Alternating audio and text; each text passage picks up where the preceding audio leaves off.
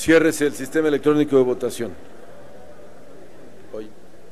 Cierres el sistema electrónico de votación. Señor, presi- señor presidente, se emitieron 342 a favor, 16 abstenciones y uno en contra.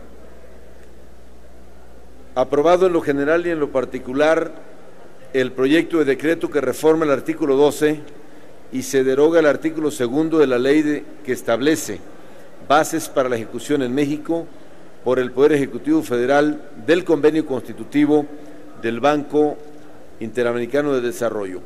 Pasa al Ejecutivo para sus efectos constitucionales. Cámara de Diputados, sexagésima segunda legislatura.